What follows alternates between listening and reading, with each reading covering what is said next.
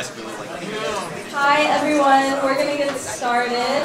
Um, my name is Elizabeth Diggs, and on behalf of SALDIF, we want to thank you so much for coming. We are absolutely thrilled to have with us today Ingrid Newkirk, President and co-founder of PETA, which stands for People for the Ethical Treatment of Animals. As a brief background, Newkirk, as well as a fellow animal rights activist, founded PETA in 1980 Today, PETA is the largest animal rights organization in the world with over 1.6 million members to date. Um, the organization's accomplishments, among many over the years, include things such as convincing major cosmetics companies to stop testing products on animals, pressing for higher welfare standards from the meat industry, and uncovering horrific conditions in animal laboratories, slaughterhouses, and other places where um, animals frequent and are uh, that have led to government sanctions against companies, universities, entertainers who have abused or used animals in some improper way. Um, as president, Ingrid Newkirk has spoken internationally on animal rights issues and continues to be a major figurehead around the globe for the animal rights movement. Um, many may argue or disagree over the tactics of PETA, but not many at all argue over the fact that it has achieved successes that have undeniably improved the lives of many countless animals. So without further ado, please join me in welcoming Ingrid Newkirk.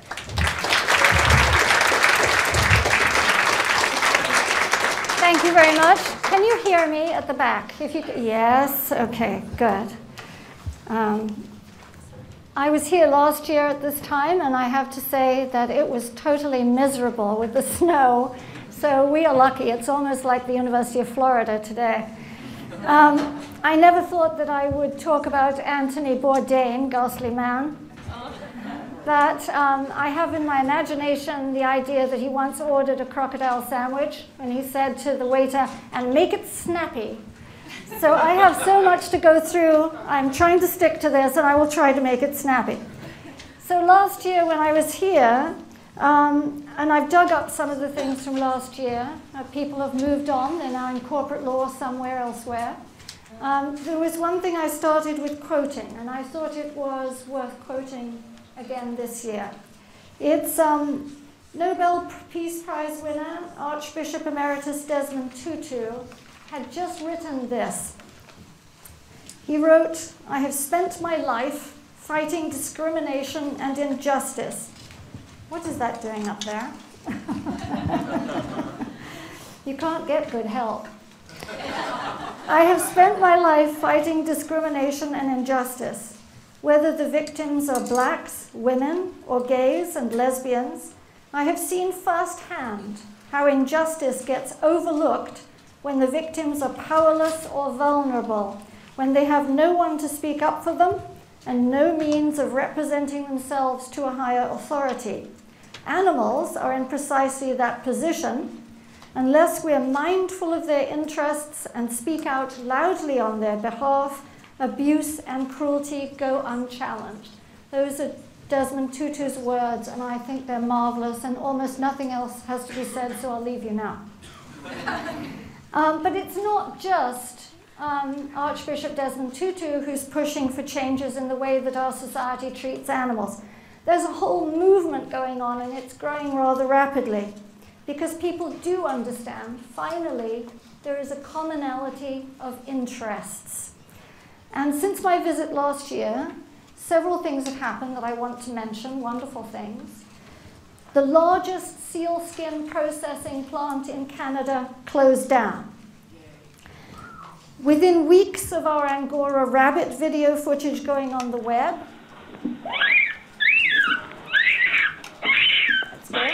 basically every retailer in the world agreed never to sell Angora wool again.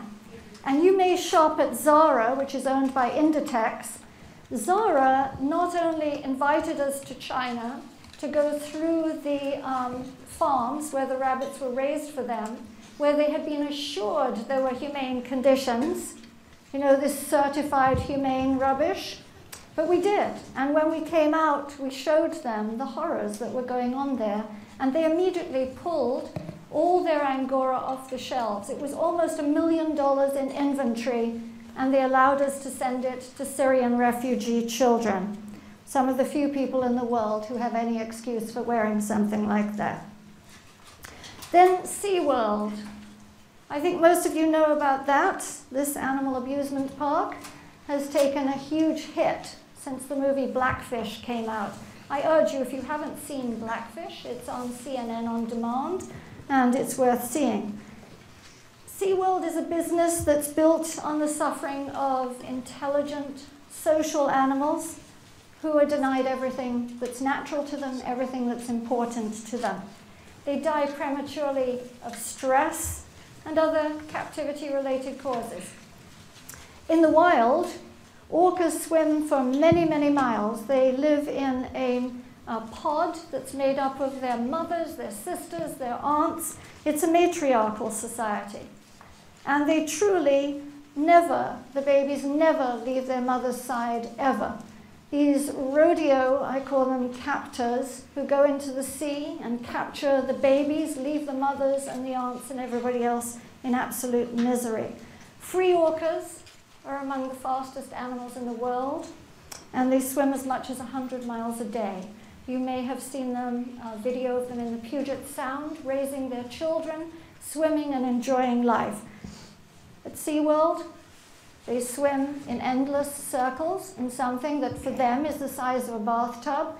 They're swimming in their own diluted urine and waste and chlorine. They wear their teeth down, chewing at the underwater bars. It's just all absolutely hideous. In the wild, male orcas live an average of 30 years and up to 60 years. Um, females an average of 50 years up to 100. Orcas at SeaWorld die by the time they reach their teens, usually. So what did we do? After Blackfish came out, we went to all the companies that sponsor or sponsored SeaWorld, and we got Southwest Airlines to take the orcas that they had painted on their planes off. Um, we got AAA to stop promoting them. We got Frommer's and these other um, guides for travel to remove recommendations to go to SeaWorld. All very important things. And Mattel stopped selling SeaWorld Barbie, which I think if a plastic doll won't go to SeaWorld, that tells you everything you need to know. then I'm sorry to drone on about this, but we want to bring this company down, so I will. Um, my favorite was SeaWorld CEO. A new CEO went in and they asked people to tweet what they thought about SeaWorld. And so that was a major PR nightmare because people did. And they asked things like, what do you fill your tanks with? Orca tears? Why is your parking lot bigger than the orca's tanks? Do you really believe that Shamu Stadium is, quote, the most advanced marine habitat in the world, or have you never seen the ocean? Were you guys drunk or stoned when you came up with this campaign? and who hired your PR firm and when are you getting a new one? So they came out with this multi million dollar advertising campaign to bring people back to SeaWorld that didn't work. But here is our rather rude rebuttal to that. There are some facts about SeaWorld we'd like you to know. We used to steal orca babies from the wild, but now we masturbate them and breed mother orcas with their sons. Swimming in endless circles, attacking each other, and ramming their heads into concrete walls. Our whales are going insane. They're not doing well, and in fact, more than 30 have died. Our business is failing. But if you come to our parks, we'll tell you a bunch of lies. Why do we lie? Because if we told you the truth, you wouldn't come. And we think you're stupid. Really, you're stupid. so SeaWorld stock opened at $38 a share shortly after it went public in May 2013 and now it's at $17 something, so that's a crash of over 50%, and I urge you to help us make it crash entirely. So other victories. Since last February, Sao Paulo has banned fur farms, Colorado has banned greyhound racing, Orange, New York requires animal abusers to register with the state, San Francisco banned all wild animal acts, Ringling Brothers announced it will retire the poor, old, lame, and possibly TB infected elephants that they drag from city to city. Ontario bans the capture and breeding of marine mammals. The Yucatan and several Spanish cities banned bullfights. Mexico City banned animal circuses. What we need is for Mexico now to ban dolphinariums, these swim with programs. So if you ever go to Cancun on vacation, please avoid them. Talk to everyone you know about why the dolphins need to be free in the ocean, not in a swimming pool. And please avoid the fish pedicures. Uh, this seems to have sprung up from nowhere. I don't know what that's about. You know, you can't clean something if you've got fish in it, so somebody else puts their feet in after the, and eventually you throw them away. PETA stopped the National Institutes of Health's notorious addiction experiments on baby monkeys um, and ended dissection requirements in several more states. We rescued bears and some lone and lonely chimpanzees from roadside zoos and closed those places down. I'm just going to show you one rescue of a chimpanzee named Iris. In 2015, PETA was alerted to the plight of a 32 year old chimpanzee named Iris. Iris was being held all alone in a tiny, barren, and dark cell at a roadside zoo called Chestatee Wildlife Preserve and Zoo in Georgia. With virtually nothing to do or see and no companionship, Iris resorted to smearing her own feces on the walls of the cell as highly distraught human prisoners have been known to do. And she spent much of her time huddled under a dirty blanket.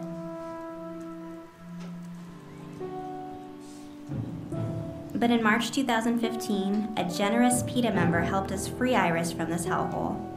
Following negotiations, Iris was released from her prison and sent to the beautiful Save the Chimps Sanctuary in Florida,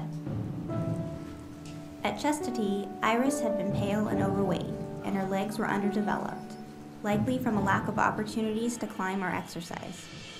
But at the sanctuary, Iris is thriving.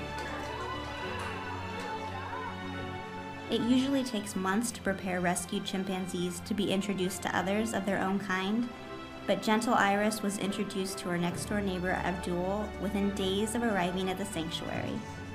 The two immediately greeted each other with hugs and kisses and groomed each other like old friends.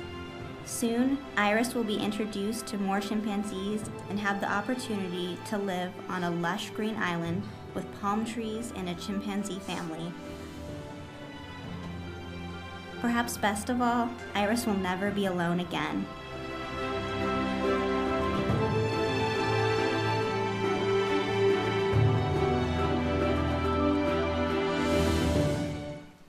If you go to our website, there are also some very beautiful videos of the bears we've rescued since I was here last year. Really, really lovely to see them flourish and start to fill out and become bears again. Um, but it's all good. Things are moving, and they're moving because people are doing things to make them move. John Galsworthy was an English philosopher many years ago. He said there are three things in life that are important the first is to be kind. The second is to be kind. And the third is to be kind. So I aspire to that. I think that's a wonderful way to live your life, is to be kind to everybody. And when I was writing a book called One Can Make a Difference, I asked the Dalai Lama to contribute something, and he did. And he said, You know, it doesn't matter what religion you are, or if you have no religion because the overriding religion everyone should have is to be kind. And last month, funny enough, the Harvard Graduate School of Education agreed with this in a way. What it did was um, it published a report on the value of reducing competitiveness. I know this may be a very daring concept, but reducing competitiveness in favor of showing consideration for others. In other words, being kind. But there's far more to animal rights than kindness. Kindness should be enough. But there is an overriding principle that guides animal rights interests. And that is a principle that everybody except maybe Attila the Hun should subscribe to. If we're against discrimination, if we're against needless violence, if we're against injustice, then we have to be for animal rights. because the only thing that allows places like SeaWorld to exist and elephants to be dragged around in chains in the circus and taken away from their mothers, and all the things that we do. The only thing that allows us to eat animals and wear animals and experiment on animals, use them for entertainment, and kill them in hideous ways because they're a nuisance is prejudice. That's all it is. Prejudice. And prejudice has never, ever justified discrimination. The one thing we have to throw out is that prejudice, the way we would throw out last week's moldy leftovers. So I want to take a sidebar because people have asked me about this when they knew I was coming on something that a lot of people care about, and that's the environment. And I want to say that it is as impossible to be a meat and dairy eating environmentalist as it is for Donald Trump to give a lecture on the Hadron Super Collider. so here, I'm just going to rattle off some statistics. A staggering 51% of global greenhouse emissions are caused by animal agriculture. Animal agriculture is the largest source of carbon dioxide, methane, and nitrous oxide emissions in the whole world. And here's Pam Anderson making the point. More than half the water in the US is used up by animal agriculture. It drains the aquifers. It causes militant cattle ranchers to storm federal wildlife preserves, foolishly forgetting to take snacks with them. So here we are. Where are we? Here we are. Can't get good help, I'm telling you. Um, here we are. This is um, PETA people going up to the refuge, taking snacks, but for the reporters, the people inside, and everybody else. And so whenever they held a news conference about the need to take over the wildlife refuge, we were there with our signs uh, putting down their ranching practices. For every one pound of fish caught, five pounds of unintended marine species are caught and discarded as what's called by-kill. And that means dolphins and turtles and rays. 110 animal and insect species are lost every single day from rainforest destruction.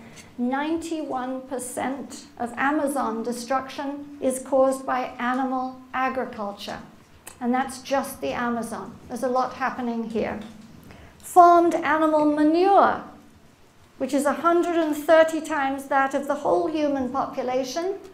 130 times that of the whole human population is fouling our waterways. It's killing wildlife. It's killing everything, and it's making kayaking less pleasant. A third of all our raw materials in the United States go into animal agriculture, a third. One smallish dairy farm, which is smallish means 2,500 cows, produces more fecal matter than the whole of Minneapolis. And don't make jokes about the people of Minneapolis. We slaughter over 27 billion living beings every year in the United States alone. For what? A fleeting taste. That's all. Something that we grew up getting accustomed to, a taste that we find hard to get rid of. In one year in the United States, we throw away more than 15 billion pounds of animals' bodies, more than 3 billion pounds of eggs, and 25 billion pounds of dairy products. What that means, if you think about it, is of course that thinking, feeling, sentient animals who saw what was coming in front of them, who didn't want to be on that transport truck, didn't understand where they were going, but smelt the death in front of them, were killed so that they could end up on a tray outside a hotel room or in the garbage behind a restaurant in the dumpster. And this doesn't count the ones who are killed in transit. Pigs, they have skin just like ours.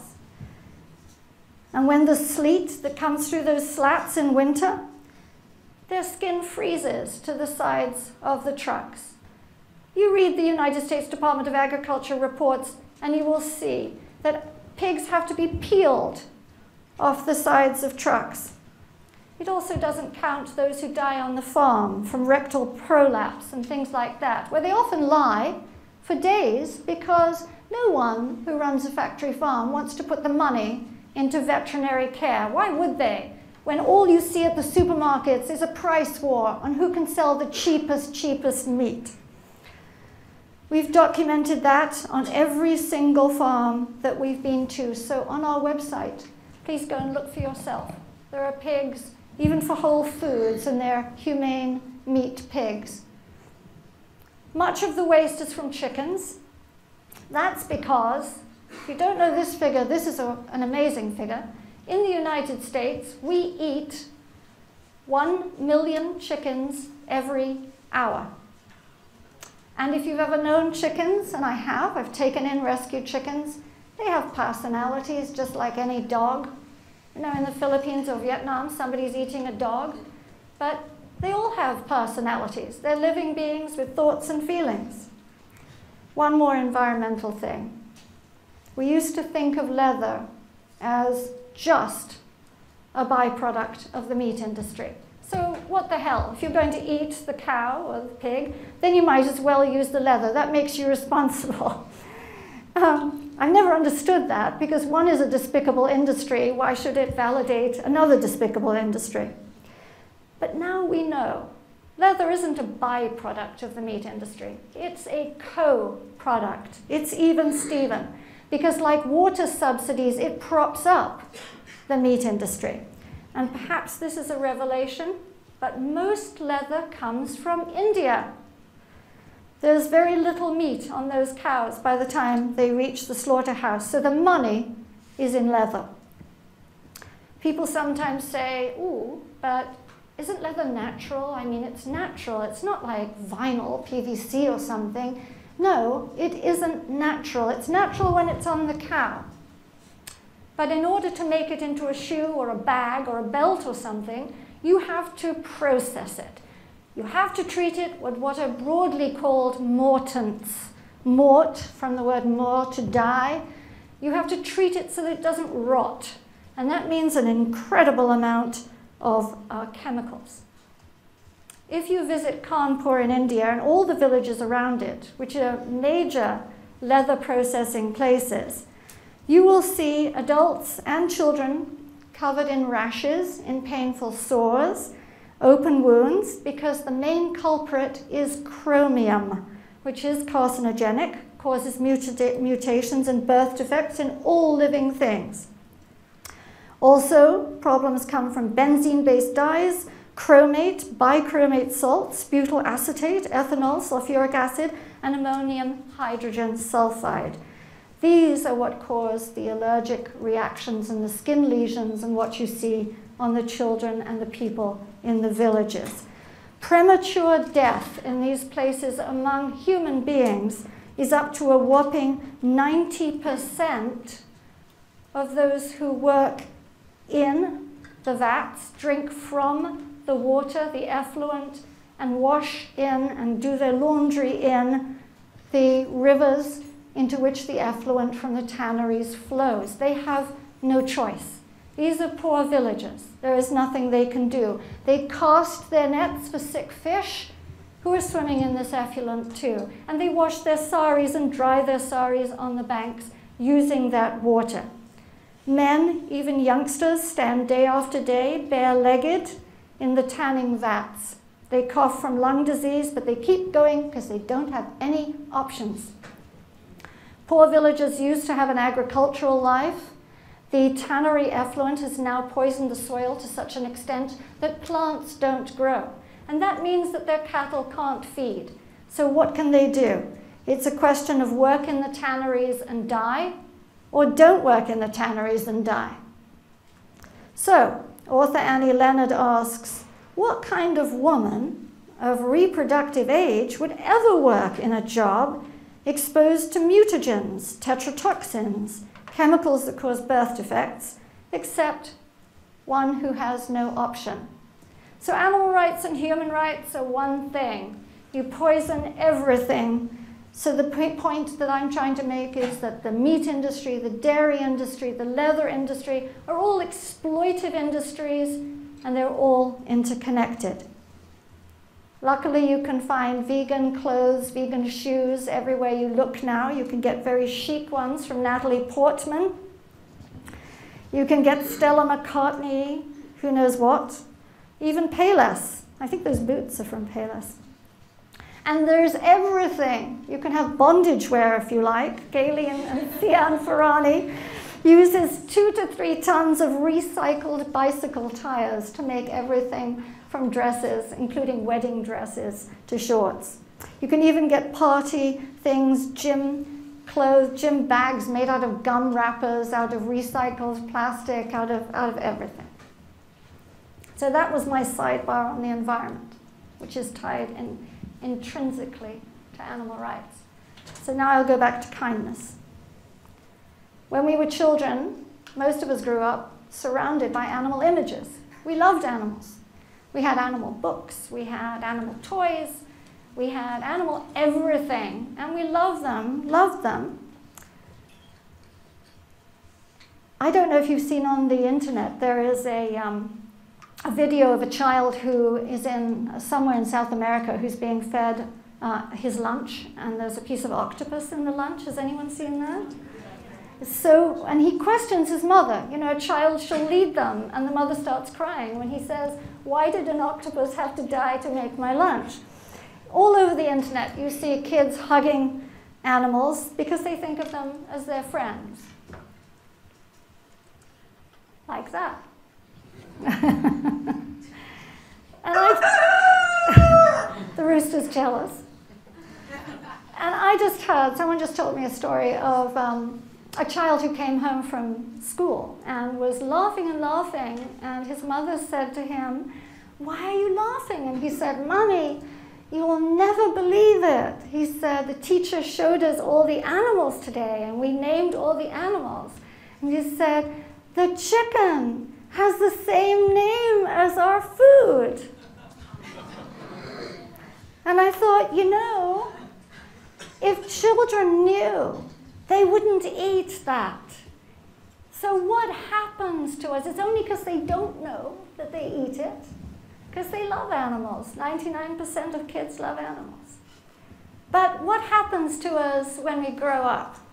What hardens our hearts? What makes us laugh at things that are not funny about cruelty to animals? What makes us ashamed of our emotions, which are an integral part of us? We're not robots.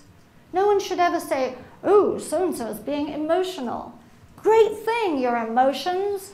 They rule a huge part of your life. They are your intuition. They tell you how to behave to others. They show you when someone is good. So emotion's good.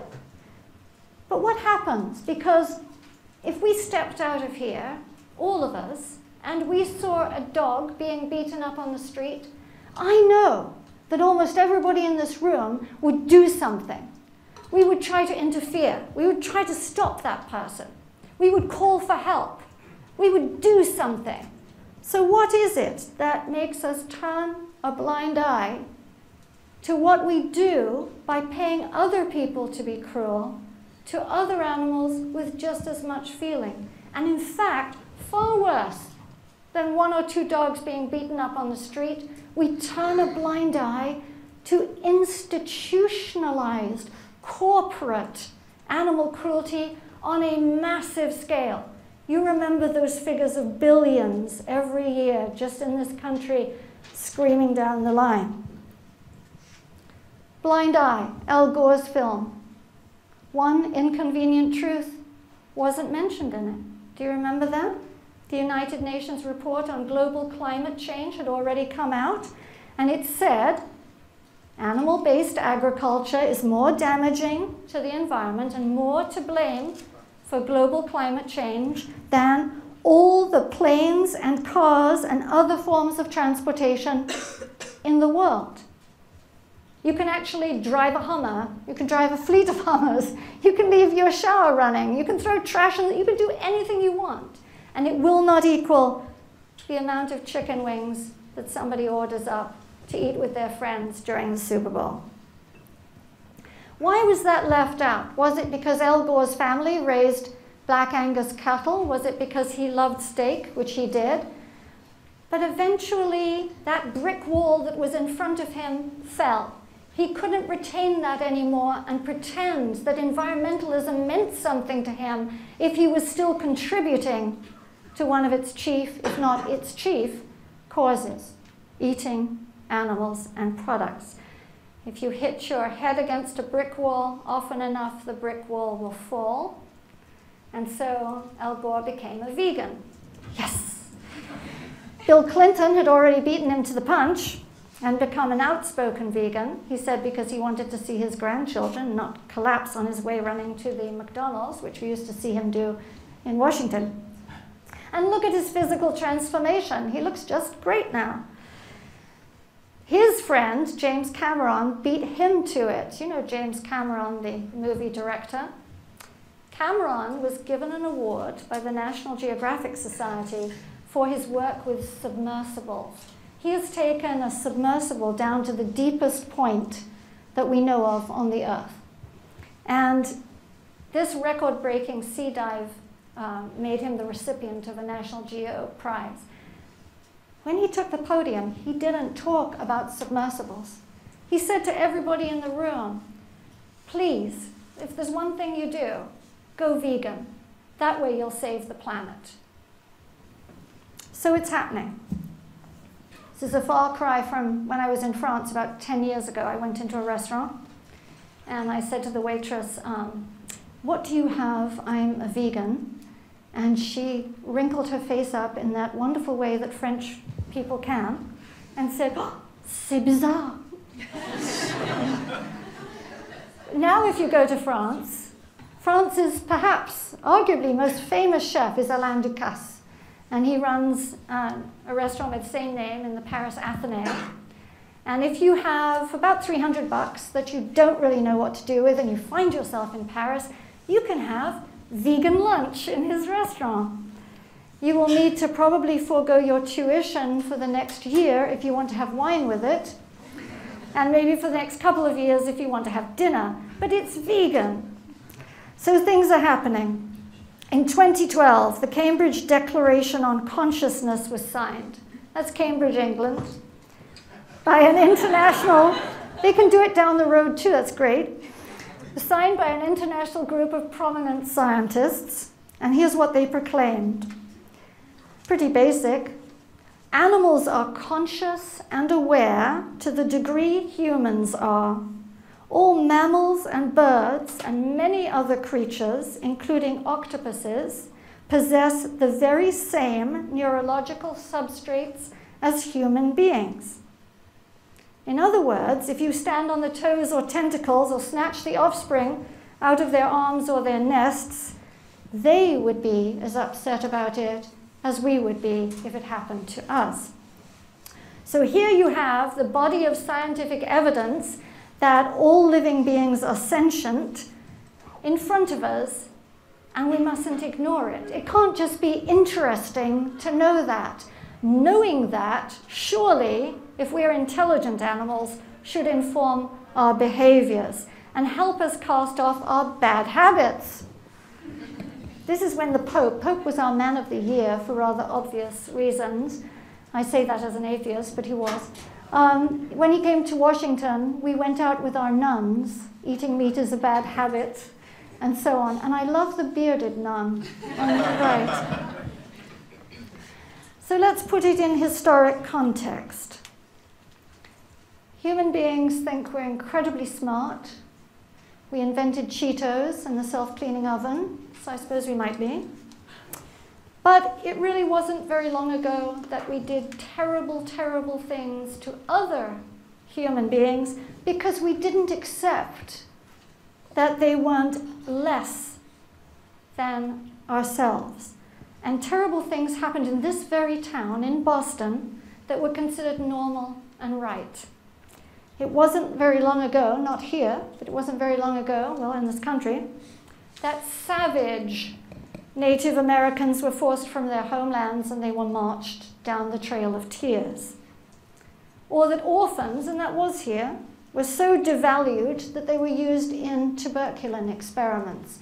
And in fact, Irish immigrant women were used in practice gynecological surgeries so that surgeries could be perfected for rich women who weren't migrants. GIs were given LSD without their knowledge, and some of them thought that they were going crazy and killed themselves. But GIs were disposable. They were just poor class men who came into the military. It wasn't that long ago. It may seem a long time when you're young, but it wasn't that long ago that the Holocaust was a reality. And it was experienced by millions of Jews and gypsies and homosexuals. And the final solution, of course, was to round them up and gas them.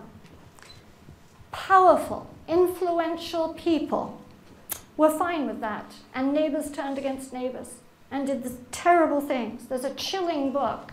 I recommend it. It's called The Nazi Doctors. It's a sociological study of the behavior of people in concentration camps. And what it shows is that ordinary people performed atrocities against others because they thought of them as inferior. At the time of the suffragettes, the first women's liberationists, women who demanded the right to vote, not much to demand, were force fed, the way prisoners are force fed at Guantanamo. Women were considered so below men they couldn't only not own property, but they were considered property. That is not very long ago. It was perfectly reasonable for men to rape their wives. The idea of forced sexual intercourse, of rape in a marital situation, is a relatively new concept. Women had no say. Women were also thought to be so daft and so weak that they were denied entry into medical school because it was thought that they would faint at the sight of blood. Which, if you think about that, is rather an odd thing to think. I think that today, men who thought that, if you could tell them today, they would faint to know that there are more female medical school graduates than there are males. And it was very funny, I don't know if you read, when Storm Jonas hit Washington and other areas recently, that um, Senator Lisa Murkowski said that the only people who showed up on Capitol Hill, from members of Congress to pages to administrative support, were women. And I thought, what a terribly missed opportunity that day was. So, one final example very well educated people actually believed that black people were so stoic they couldn't experience maternal or paternal love. People honestly believed it. There were editorials in the Boston Globe justifying the right of slaveholders, slaveholders to sell black children into servitude at farms so distant that their parents never saw them again. And there is a book in which I read a story, a poem actually, about a mother, a slave mother, who would work in the fields all day, backbreaking labor, I'm sure. And then at night, she would walk 12 miles there and back to see the place where they had put her daughter, just to watch her daughter sleeping, and then come back to the fields, so to the where she slept, so that she wouldn't be beaten the next day. They believed it. It was justified.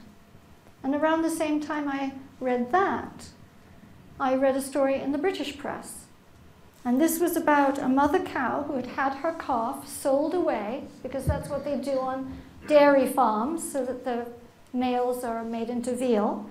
And she broke through a fence and she walked seven miles down a lane, broke through that fence, found her calf, and the next morning when the farmer went into the barn, he found her nursing her calf.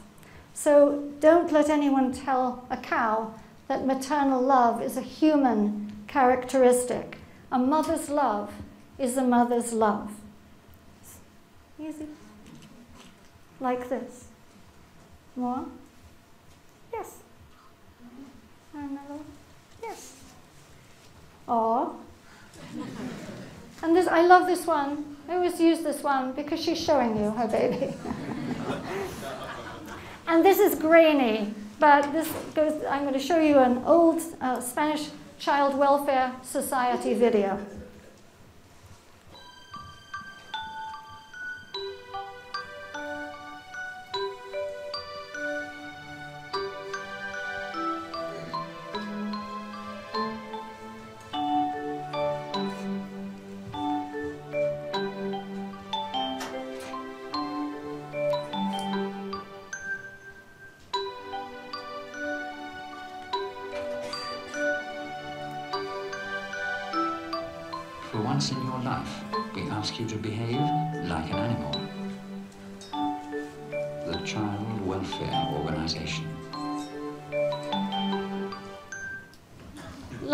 Film. Anyway, the atrocities that I described were day to day reality for people just like us. And of course, we're appalled by them now. But the thing is that there's no challenge to condemning what happened in the past. We can all do that, it was the past. The real challenge is to look at what we're doing today, look at what our great grandchildren, perhaps, or grandchildren will look back at us and say, How could you have been oblivious to that? How could you have ignored it? How could you have not acted? Slavery isn't just human slavery. If you're honest with yourself, you read the dictionary definition, you look at the circus, for example, 18 orphaned baby elephants, and orphaned because they were taken from their mother, were just moved here from um, Zimbabwe to go into our zoos. And there was an international outroar, outroar, but it didn't stop it. This is what they do. This is how they train baby elephants. I am so pleased that Ringling has decided to take those elephants off the road after 35 years of protest. But this is when they take a baby elephant away, they tie them down and they beat them with what's called a bull hook, which is a heavy wooden stake with a hook on one end.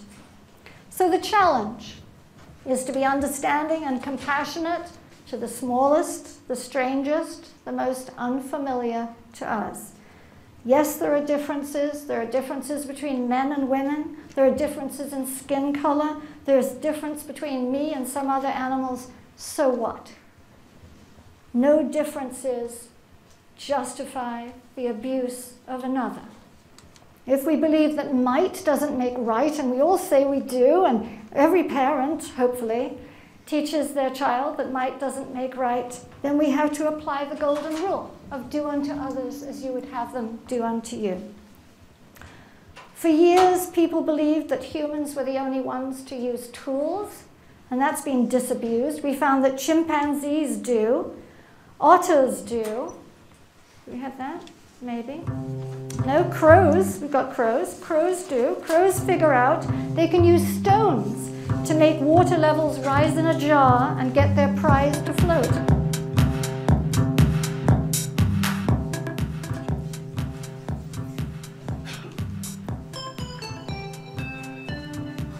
Okay, that's good.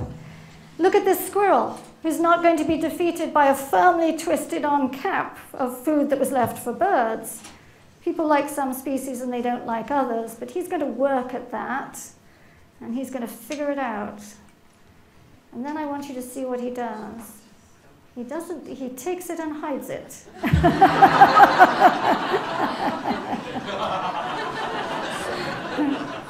And then there's this bird who shows the sense of play. He's figured out how to take a plastic lid and amuse himself on a snowy day by going up and down. And this just goes on. He just has a wonderful time with his peers.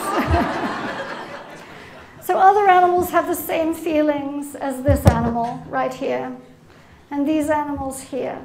We all feel love and we feel joy. Look at these cows released from a barn in spring after being holed up all winter.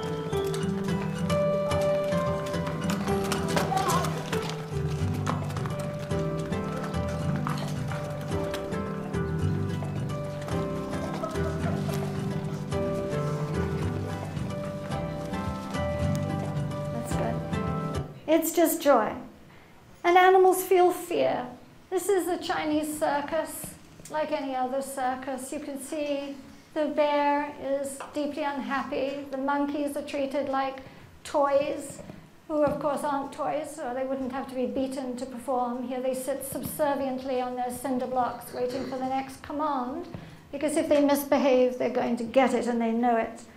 And they feel loneliness. If you kick them in the face the way men in the stockyards do, and I've been in the stockyards and seen it, they see, they feel exactly the same pain as we do. And what about fish? The uncomfortable fact is that we know that fish are clever. They have mathematical abilities that are shown to be on a par with those of monkeys, dolphins, and human youngsters. If they escape a net, they can remember for seven years not to make that same mistake again. They're communicative, they're sensitive, they have sensory hairs on their backs, which are um, things that allow them to register vibrations and know when they should move. They have electrical uh, fields. They have taste buds in their throats and their lips and their noses. They're extremely sensitive to stimuli, so that the pain that they experience when they're hooked is especially acute. We have this ad. If you wouldn't do this, eh, go back. If you wouldn't do this to a dog, why would you do it to a fish? That is less painful to a dog than this is to a fish because their lips are so sensitive. The New York Times recently reported fish use luminescence to communicate and they cry for help when they're pursued by predators. So people always say to me, well, what about catch and release? And I'm reminded of Ellen DeGeneres, who had a joke long ago where she's driving along and she sees two elderly people walking and she runs her car into them and knocks them down. And as they're trying to get up, she rolls down the window and she says, It's okay, you can go now. I just wanted to see if I could do it. so it made me realize an experience I had with an eel who had been caught. And I won't tell you that because we're running out of time. That it's what's inside that counts. This is a whale's eye. This is an elephant's eye. This is a duck's eye. This is a human's eye. And there's someone in there, in all of them. There's someone inside. We're taught we shouldn't bully others because of what they look like, what they sound like, where they come from, that their culture is different. This is the same thing. We should judge the book not by its cover, but what is inside. Before Jane Goodall, we didn't have a clue that chimpanzees are so like us that they lie to their siblings, their mothers, by blaming their siblings for naughty things that they do. And they have sex with other chimpanzees behind their mates' backs, something I always say they learn from members of Congress. we didn't know that bottlenose dolphins whistle the individual names of their loved ones when they're in distress, or that parrots give their babies a unique name that those babies will respond to for the rest of their lives. Given a chance, they watch, they figure things out. There are lots of videos on the internet of horses opening barn doors, letting their friends out, going in fields. Here's a little video of cows who have figured things out with opening gates with their tongues. Two latches on that one, gonna not nail it. Yep. And of operating water pumps with their horns. Up on the left, down on the right. And then they can drink. Today, a whopping 60% of people who have been polled have no idea that a cow has to get pregnant, has to give birth to produce milk. People think that cows just naturally have milk they don't know what to do with. But that's not how it happens. And most people don't know that cows are impregnated through artificial insemination on what farmers themselves call a rape rack, which means that a farmer gets semen from a bull and sticks it up inside the cow. That is rape, and that is not pleasant for a female or anybody of any species. We now know cows use almost imperceptible facial movements to communicate, something we didn't know five or ten years ago. Here is here are the cows being removed from their calves being removed from their mothers so that we can have the cheese, the milk for the cheese that goes on our pizza topping, and these wonderful big mothers can do nothing except miss their babies, follow their babies, hope someone will not be so wretched as to take them away. And here is what happens to the calves on dairy farms. They have their horns burned out of their heads. Did anyone know why dairy cows don't have horns? It's because not they're born that way. They have them burned out of their heads. If people can't see suffering in fish, pity the lobsters and crabs. This is a PETA investigation of Linda Bean. They're alive when they have their faces pushed into the whirling brush or their limbs torn off. I know it's a cultural thing, but Let's nobody eat lobster. Lambs shipped in all temperatures to be made into chops. And here is shearing, which is thought to be so benign. I mean, what could be wrong with getting wool from sheep? We have been on three continents. No? Yes? Three continents. Punching them in the face, bashing them, kicking them, throwing them down chutes, standing on them, hitting them, throwing to the ground, stomping on them. We have been in 17 shearing sheds on three continents. They bleed, they're cut with such speed. Some of these men are on amphetamines because they have to work so quickly. And when they cut them up, they will sometimes even break their necks, twisting them to make them behave. Pigs are beaten because they're so lame from being genetically engineered that they can't walk properly because they're so heavy. Octopus is now a fad food. It's going to be marine farmed. This octopus has a nifty trick. Sorry. It uses discarded coconut shells to hide from potential threats. Small octopuses like these can transport shells for future use too. They drape their bodies over the hollow of the shell. With their tentacles dangling over the edges, they can scuttle off with their hideout. This one has even worked out how to assemble a shelter from two half shells. It keeps a lookout through the gap between them. These are the first invertebrates that have been seen using tools. But they've been known to abandon their tools as well, as seen here when the camera gets a bit too close. I'm going to try to wrap up quickly. There's so much to say. Um, chickens, University of Bristol, they now have been shown to be able to count to at least five. And if you put a piece of melon in front of a chicken and teach them that if you don't eat that piece of melon, you'll get two pieces of melon, the chicken will exercise self control, something you will never find with children. Um, although some animals cannot exercise self control, dogs.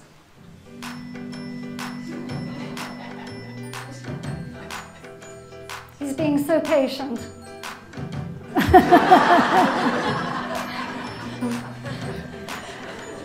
but when you think about McNuggets, please think about chickens being thrown into crates to make them.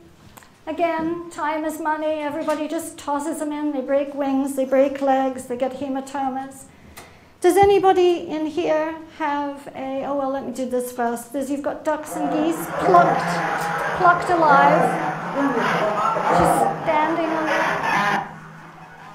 This is live plucking. Does anyone here have a Canada Goose jacket?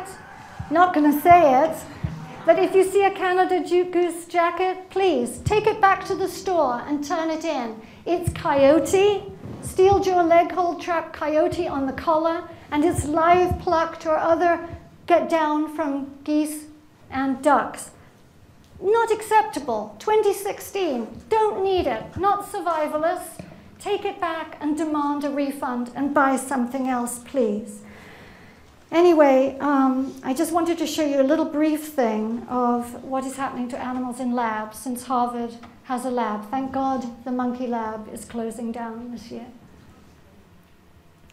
Convulsing, fed pesticides, fed chemicals, we still have electrodes implanted into animals' brains. There's a lot of money in animal experiments. Look at the fear. The fear is palpable. It's not just physical pain, it's just not knowing. Dumped on the ground after surgery. These are all undercover videos that our investigators shot. He's so desperate. So here is the famous Birkin bag, which we call the bath bag, made from ostrich. And the reason we do is because those goosebumps that you see on those bags, or where the feathers are taken out of the ostrich. Don't need it. You now have a Virkin instead of a Birkin, which is a vegan one. Here is here are the ostriches, beautiful, incredibly curious, wonderful animals for a fashion bag.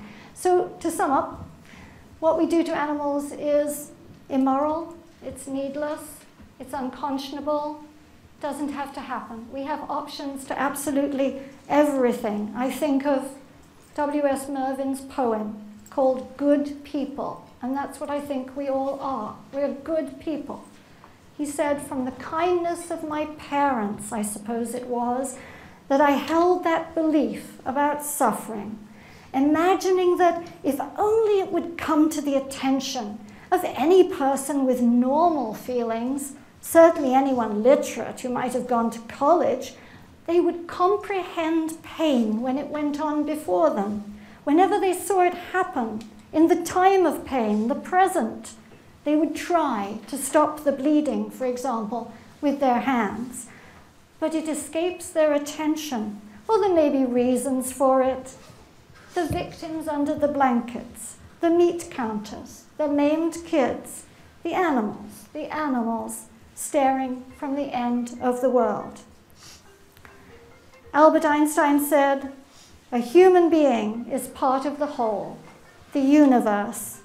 Yet he sometimes experiences, somehow experiences himself, his thoughts and his feelings as somehow separate from the rest, a kind of optical delusion of his consciousness.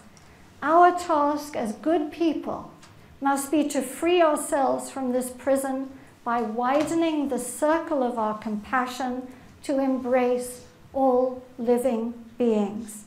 That must be our goal to connect and to protect. And I will not do the rest of my talk. I will just thank you very, very much for coming, for paying attention, and wish you well in everything you do to make a kinder world. Thank you.